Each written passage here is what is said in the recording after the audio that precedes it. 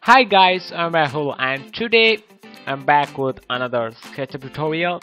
I haven't done a SketchUp tutorial in a while, that's because I don't have any new ideas about SketchUp tutorials on my head.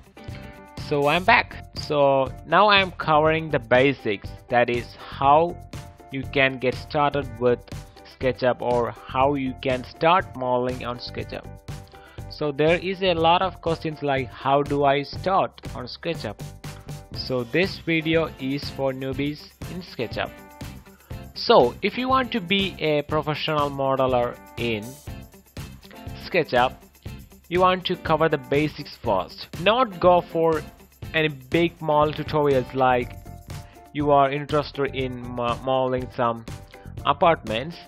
If you look uh, tutorials for that you'll find it. And you can able to model an apartment very well but if you create your own apartment with your own creativity you can do that because you don't know about the basics of SketchUp. So here we are. I'm gonna teaching you how to create basic shapes in SketchUp. This is pretty simple. The basic shapes are cube, a sphere, pyramid and a cylinder. First start with that. First start with a cube.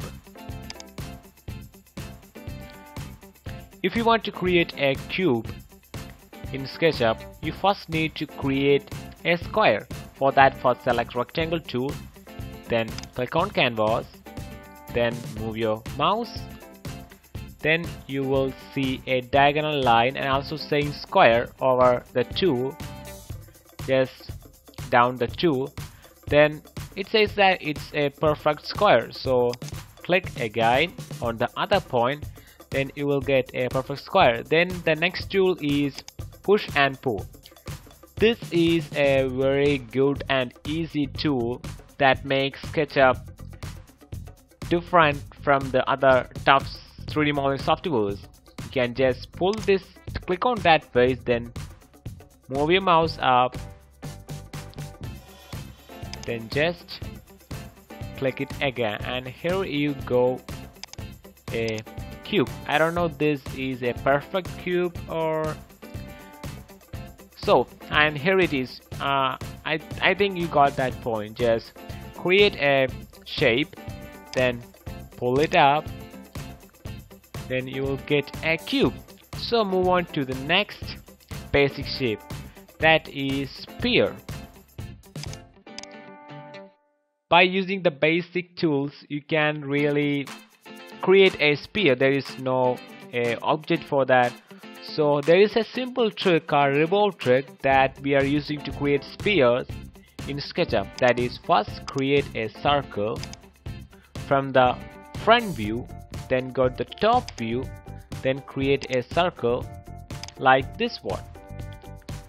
Then select this, this circle then use the follow me tool then click on this little circle over here. Then you have done the revolve trick. Maybe you're wondering why this follow me tool icon like this because I'm using SketchUp 2014 so I got a sphere again just create two circles one from the top view one from the front view then use follow me like the revolve trick in SketchUp.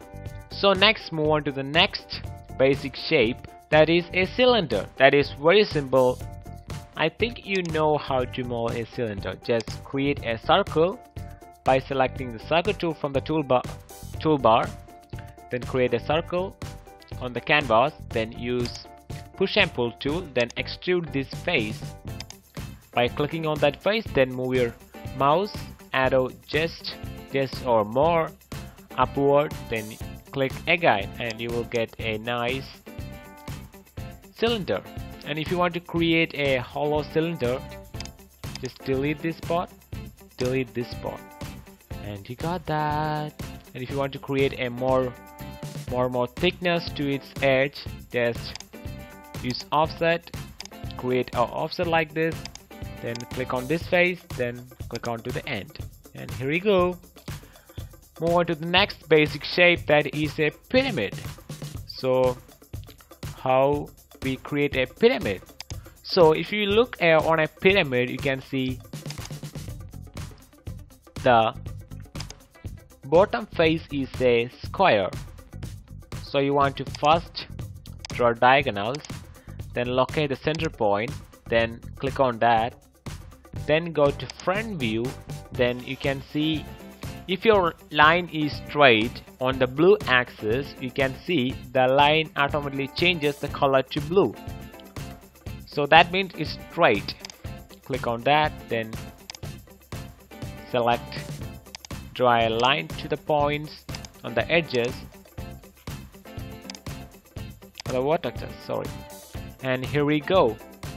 A pyramid. And that's it guys. This is very simple basic. This tutorial is only for newbies that who don't know how to create basic shapes and who are new to SketchUp. And also if you want to be a great 3D model first start with SketchUp because it got really nice tools that is really easy to use. Then download Autodesk Maya because that is the most powerful 3D modeling software. Then some watch some tutorials uh, that's also on YouTube for free. Then you want to cover the basics first. Don't guys don't go for the big things. The main problem of the new 3D modelers that new I mean newbies in 3D modeling software that is that they really don't like to watch and learn the basics. Guys if you want to be a great 3D modeler please learn basics because that's then only you can do whatever you think on your head mind or whatever. I'll see you guys in the next video. Stay tuned for that. Please subscribe